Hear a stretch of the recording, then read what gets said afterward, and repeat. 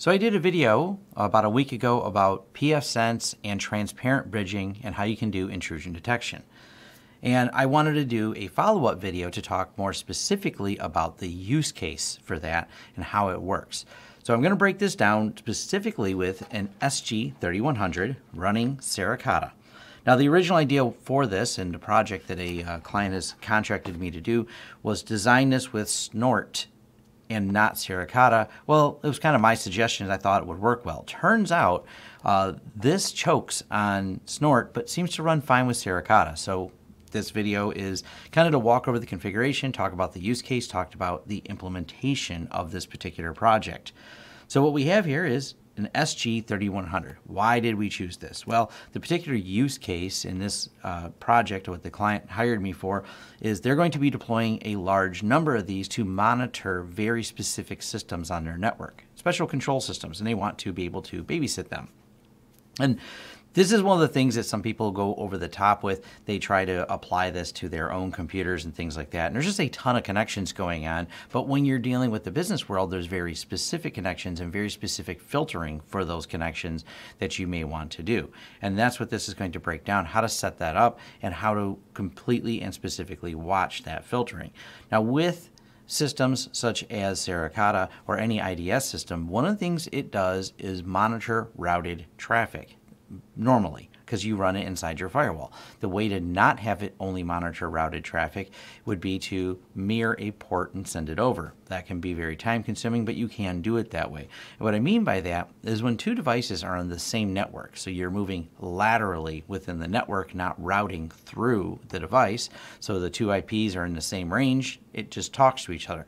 Your IDS has no way of seeing that unless you do, like I had said, an import mirror where you duplicate all that data and send it to an IDS system for inspection. In this case, though, with transparent bridging, this allows us to easily monitor without changing any of the existing network infrastructure or setting up a port mirror. It does require an extra piece of hardware, and that's why they chose the SG3100. And the question was, is it fast enough to route Will it work for this project? Turns out it will, as I stated, as long as you're using Suricata. So what we've done is turn the WAN port into the management port. So this will be managed by a separate network, separate range on the WAN. The WAN will have an IP address assigned to it. Then we have opt1. This is essentially our in. This is where the network feed will come in, and then over here, we have four ports, and we're going to go over how we have these configured in a second. These four ports are all the same. It's just a, essentially a four-port switch. That means one to four devices can all be monitored. Now, when you plug these in for monitoring, whether you were to take these two wires, even though they go through here for the transparent bridge, if you were just connect them straight together, it would work perfectly fine in terms of like it gets the same IP addresses. We're not doing any changing of IP. We're basically turning this into an observer, a transparent bridge of the traffic, and then feeding that traffic into the IDS system, which is going to be Snort. And I'm going to walk over that configuration and exactly how that works. So with Snort, it's going to be able to see any of the traffic that comes here, but the devices themselves are blind to the fact that there was a change. So no IP ranges have to be changed on the devices. The, these literally just have to be dropped in. The only thing that has to be programmed is the WAN port to match whatever the management side is for each location that these are going to be at so they have access to it.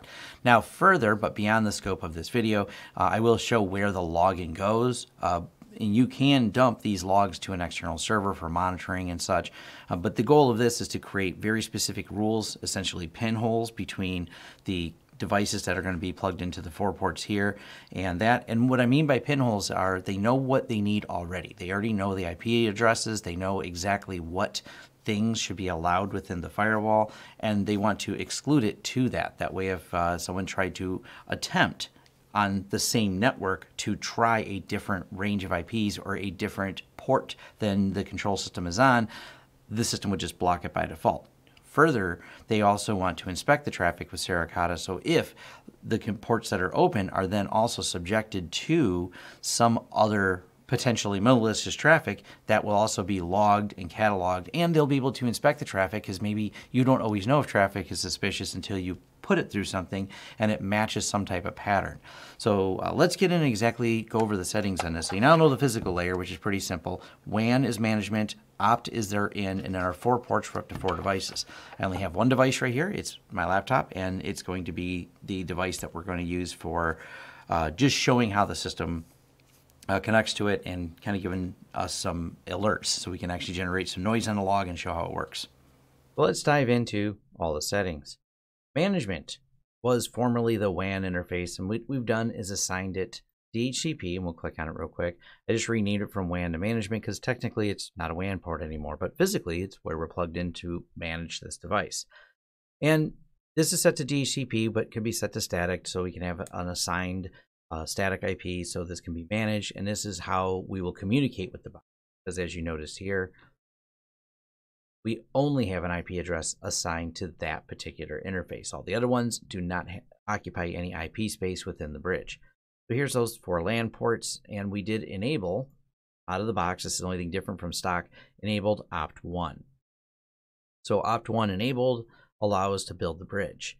And let's talk about the bridge settings. So over here, assignments, bridge. So we turned on opt1, and we just created this LAN and opt1 called a transparent bridge. Didn't there's all kinds of advanced settings you can do in bridges beyond the scope of this talk, but uh, we left all those at default. This for the purposes of what this is going to do, just monitor that traffic. We don't need any of those advanced settings turned on. Then we go over here to interfaces, assignments, and we assign the bridge, the interface bridge. Now something else I did over here real quick anti-lockout rule. We did disable that. And the reason why is because when you go over here to firewall rules, we have the management interface. This is how we plan to manage it. I've got SSH externally opened to management, and we have uh, 443 so we can get to this web interface, which is how we're logged in now. Under LAN, I want no rules at all. Under opt, I want no rules at all. And I want only the bridge to be where I get all my rules from.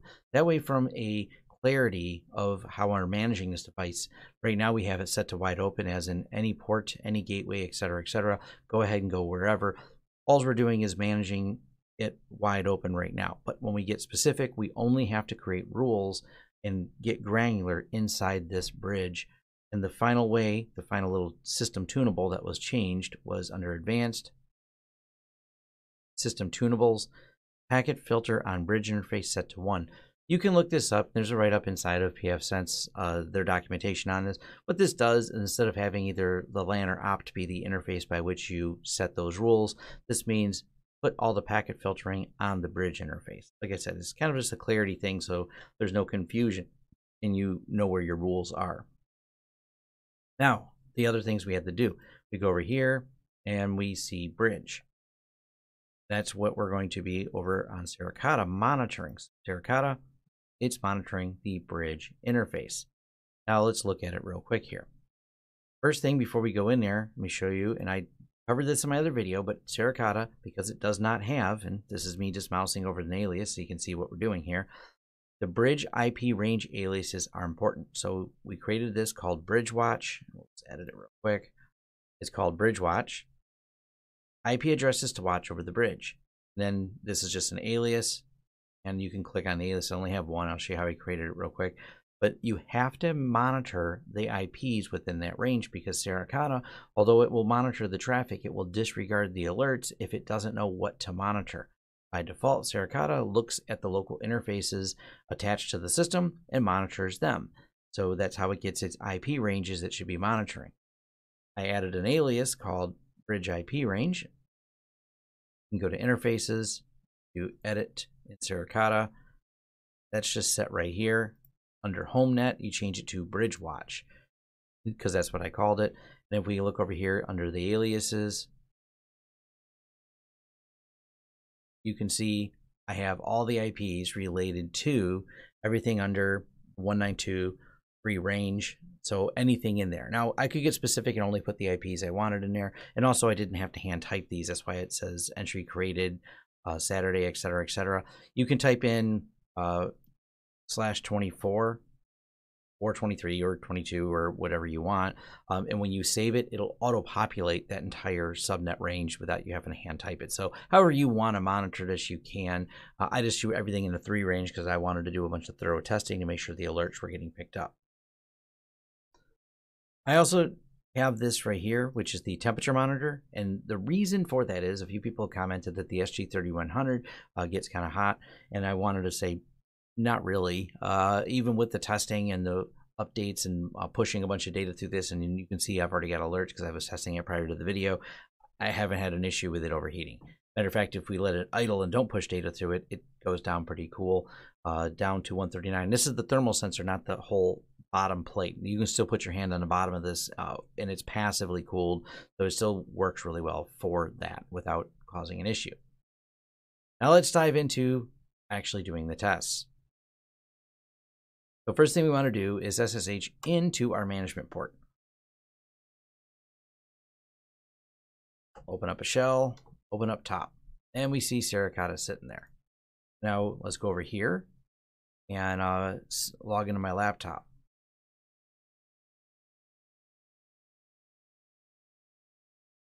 My laptop running through that transparent bridge, and then my computer is local right here. Let's just run iperf. SH.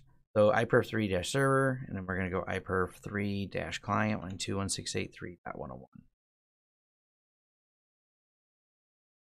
So you're seeing about 900 megs. Uh, not bad. Not it's just a slightly underlying speed, and it does push Suricata to about the 89% mark uh, watching all that traffic.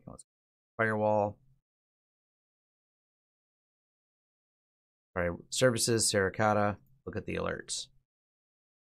And there we go. We got some alerts. Stream slash packet out of window 5201. What it's doing is it didn't understand some of the stuff, so it started seeing packet out of window. It started generating alerts. Now, as far as how I have Suricata configured in here, when you look at this, I did a pretty basic rule setup. So as far as categories and rules, I just grabbed all of them. There's no fine tuning done. I just grabbed the ET emerge and the snort GPL uh, rules, threw them in here, and just said select all of them basically more than you probably want to know but the goal is to be able to get the streams to start creating some data and then filter it back out because these have a very specific use case um, and there's always some amount of tuning you'll have to do of going through these alerts and deciding which ones are valid alerts which ones are just going to be false positives and going from there I will comment as well for those wondering, well, how do you get the alerts out of the system? Uh, you can get them out a couple different ways. The easy way to do it, we go enable Barnyard 2. and You can send them to syslog, bro IDS, even dump them to some type of SQL database. Uh, that's beyond the scope of this is like the monitoring side of this. But pfSense does support external syslog both for specifically Suricata and globally for the pfSense system itself. You can just go into the log system and externally export the logs under status, system logs, settings, and uh, send it to a syslog server and dump whatever it is you want to dump, the whole system or get specific and granular. Let's go back over here. And we do see that immediately jumped it up a couple degrees just by running that test on there. Uh, but it's still working. And we have some of these alerts from Suricata kicking off and going in here. Go back over to the alerts. What else does it see? Well, let's go over here and uh, Clear the alerts. Just so we don't have anything in there. Let's generate some new ones. So update my laptop real quick. apt get update.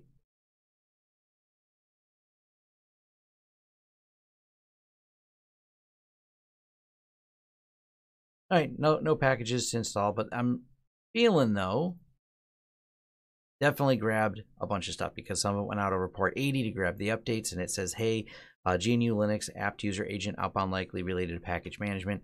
It's not suspicious traffic, but once again, when you turn all the rules on and say watch everything, we're getting a lot of detail.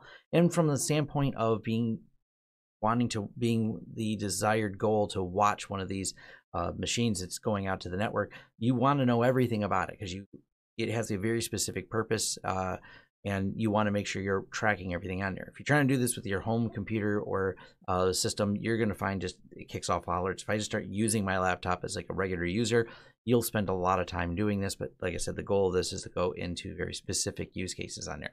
But as you can see here, it's really not taxing it too much. Now, I do know like iPerf is going to be less than ideal in terms of real world testing because it's just doing one specific stream, but you get the idea. It doesn't have a problem handling the traffic and it's capable of still routing at a very reasonable speed with the SG3100 with Suricata.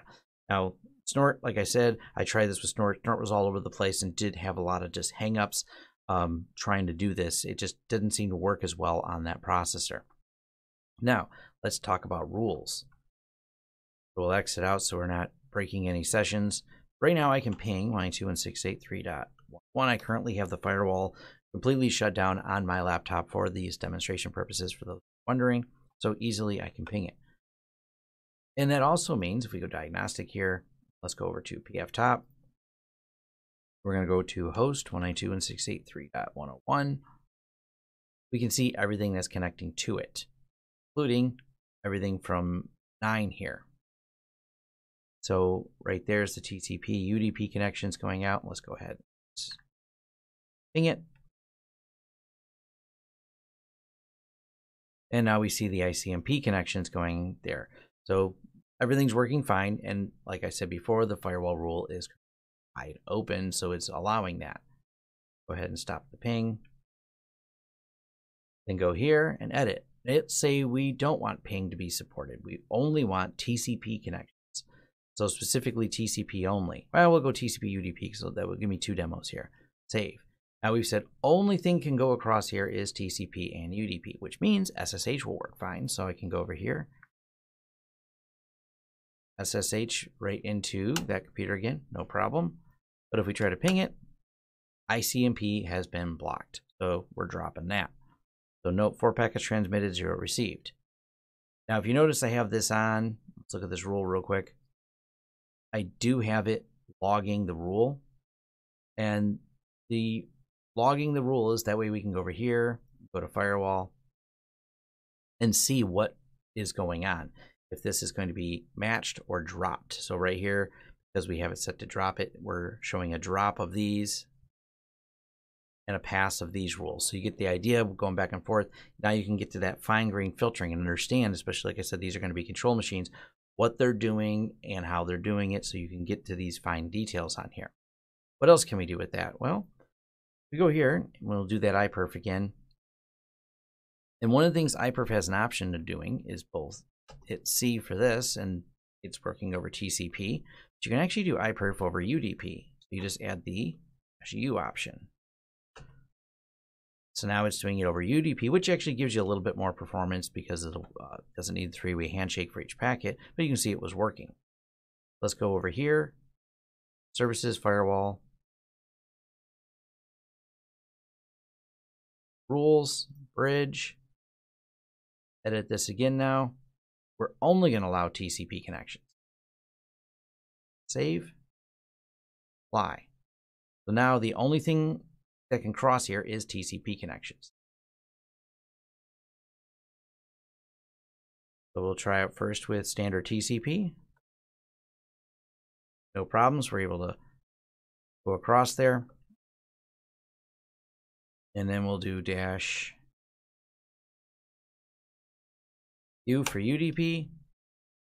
And that's it. Now, you notice I do get accept a connection from, but it doesn't finish. We'll do that one more time.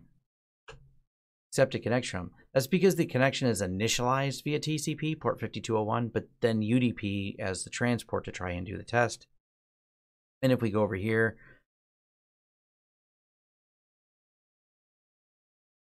status, system logs, firewall,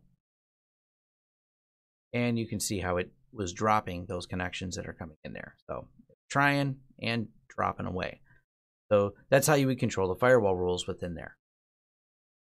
And once again, and let's actually run a repetitive test because it, it's you notice me flipping through here is causing it to heat up a little bit. So let's go ahead and we'll do this while that's running. See if this thermal management gets anywhere. But you can see with this running, it pushing this, it doing this right here where you hit what 144. I'm just bringing this up to uh, show you know, based on use case here that yes, it's stable. Yes, it will get warm if we keep doing this. We'll a few more times. 148. Can we overheat it? not likely. And like I said, we're pushing it harder than it would probably likely be pushed with there. But I mean, it does push the CPU pretty hard. Uh, we're at about 50% of only 2 gigs of RAM usage. So you can see that, one, even with Suricata, with more rules than are likely to be loaded in a real world scenario, because I loaded 100% of the rules, uh, we're still only at half RAM usage. We are pushing the temperature a little bit in the CPU usage. And you can see the peaks in the LAN and WAN. And ideally, when you're watching traffic, you're only going to really want to watch traffic over the bridge interface because LAN has one half, Opt has half, Bridge shows all the traffic, uh, so you can see the traffic going back and forth. But it's really reasonable as far as how fast the traffic goes across. And it quickly, as soon as we slow down, lowers back down to 139. And my office is at about, let's say, 70 degrees ambient temperature, so kind of an average comfortable office uh, temperature. So nothing, nothing too extreme here. But hopefully this shows kind of the use case and how you would uh, deploy one of these and how you would configure one of these and whether or not they're viable. And of course, one of the questions a lot of people want to know is why are you choosing SG3100? And this goes back into the use case this client has. They need to deploy a large quantity of these. One of the things you can do with pfSense is go through, create the config file, create all the tuning for these type of systems, and there's going to be a quantity of these deployed at all the different locations uh, modify the file, do all the tuning, do everything, and then now you can easily duplicate it and going into that XML file and only changing, for example, like if you set the management IP to be static, you could then set the XML file, change the management IP of each one, or set it to be DHCP and, and you know create reservations in there depending on which way you're going to deploy them. But now, all once you configure one machine in your lab and build it out, you then can deploy this universally to all the machines. And as far as if there was ever a problem or a replacement needed to be done, no problem. Same with when you have to make a modification, you can then push this XML file to all those machines. And there's ways if you did things like if you want to get a little more complicated, SSH and Ansible, you could push these configs out via that via uh, in there and enforce a restart of all these machines and tell them to use the new config file. You could go real in depth with this, but this is one of the advantages when you use common hardware. And I know this is the Netgate box, but because they're going to all be the same, we can easily just drop that config file in each of these and rebuild it uh, very quickly. So we make the change in the lab and without having to go read through, especially if there's like 30 changes, you just re-upload the XML file to it, it'll restart, and away you go. As always, if you want to keep the discussion going, head over to our forums, and if you have questions, concerns, and comments, go over there and post them. Thanks. And thank you for making it to the end of the video. If you like this video, please give it a thumbs up. If you'd like to see more content from the channel, hit the subscribe button and hit the bell icon if you like YouTube to notify you when new videos come out. If you'd like to hire us, head over to lawrencesystems.com, fill out our contact page, and let us know what we can help you with and what projects you'd like us to work together on. If you want to carry on the discussion, head over to forums.lawrencesystems.com where we can carry on the discussion about this video, other videos, or other tech topics in general. Even suggestions for new videos, they're accepted right there on our forums, which are free. Also, if you'd like to help the channel out in other ways, head over to our affiliate page. We have a lot of great tech offers for you. And once again, thanks for watching and see you next time.